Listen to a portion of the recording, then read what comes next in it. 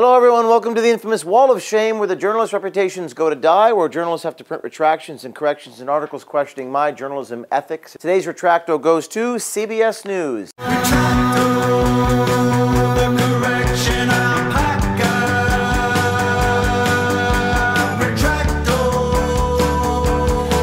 He's coming at you. Irina Ivanova of Money Watch. Is she exposing the Wall Street corruption? Is she exposing the FXT guy? No, no, she's writing about Project Veritas and the Washington Post, the Roy Moore story from five years ago. She writes, quote, the conservative media group best known for a failed attempt. What, what are we best known for at Project Veritas? What do you think it is? Congress defunding Acorn? Look, the Somali guy, ballot harvesting. How about the defamation lawsuit against the New York Times? The fact that there were congressional hearings in Washington, D.C. No, no, no, no, no, no, no, no, no. What we're known for, according to Money Watch, is a failed attempt to plant a false story about Roy Moore in the Washington Post. That is what we are best known for. Best known for a failed attempt to plant a false story about Roy Moore in the Washington Post. Hyphen was suspended from Twitter in 2021 for disclosing people's private information, a charge it denied. Well, first of all, when you say that I'm disclosing people's private information, it sounds like I'm disclosing people's social security numbers, bank information. No, we just filmed a guy in the street and the lamppost was being shown, What? which is something that CNN's Drew Griffin has done and he remained on Twitter. This is outrageous. It's unfair.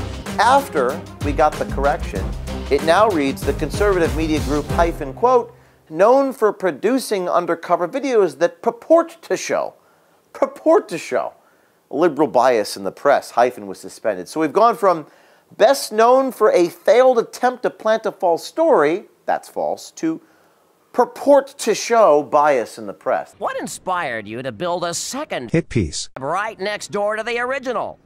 Money. That's a good change. It's a good change. But not good enough. Of course not. That's not good enough. There's nothing liberal about many of the things that we've purported to show. Most recently, uh, the butt plug dean in Chicago was giving out sex toys to minors. They're just like plastic dildos, butt plugs. The kids are just playing with them. That's a really troubling thing. Do you want your 14 year old girl, your 14 year old daughter to receive sex toys from the dean of students? When we showed the guy in Greenwich, Connecticut, he was not hiring people over the age of 30. Is that liberal bias? When a guy votes twice who's a Republican in New Hampshire, is that liberal bias? When Charlie Chester at CNN says that it's all about fear, we have to make them afraid, is that liberal bias that we're purporting to show? What is that?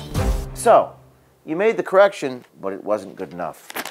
Why do you have to use this, this, this language? What the hell does any of this have to do with Money Watch? I, I have no idea. Going back to your original lie, which you've now admitted is a lie, you didn't even say that we're purporting to show liberal bias.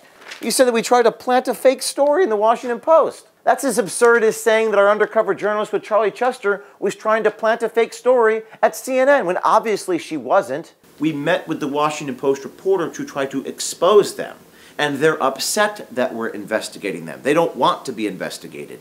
This correction is a disgrace. Suffice to say, I'll consider suing you for defamation. And you owe your audience an apology for what you've done here.